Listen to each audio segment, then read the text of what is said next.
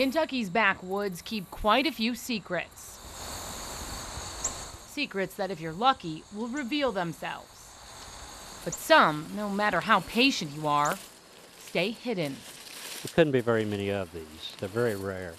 Bearilla lurks in these woods, so the experts say. The last known sighting that I'm aware of occurred right here in 1989. The broad shouldered beast has the body of a bear and a long pointed muzzle like a wolf, hands with dagger like claws, and canine teeth.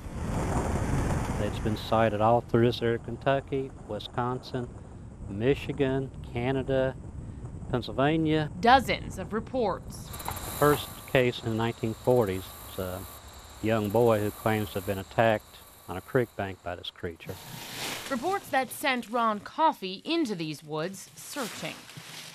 I do not discount that many eyewitnesses. Everybody's not imagining things and making it up. He's not found any bones or remains, but says he can prove Bearilla exists with this. The stride was about five feet. It's a plaster cast of a footprint. Coffey says he found the tracks last winter, right here in Bath County, and it matches the description of a Bearilla's foot. Every single legend is based on some kind of fact. Things just, stories just don't materialize. Coffey may have been researching Bearilla for more than two decades, but there's another person who's had his eyes on these woods for just as long, and he lives right across the street. I think somebody's trying to start a good hoax.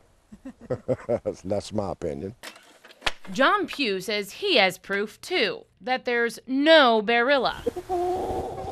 His roosters and his chickens that roam the yard and have never been attacked by a monster beast. At night time, it's always peaceful and quiet. You don't hear anything going on. And that's enough for Pugh to know no seven foot wolf like creature is lurking in the woods across the way. I'll believe it when I see it. But Coffey says it's only a matter of time until another clue surfaces. Another eyewitness comes forward, proving Bearillas exist. Covering Mystery Monday in Bath County, Courtney Fisher, LEX 18 News.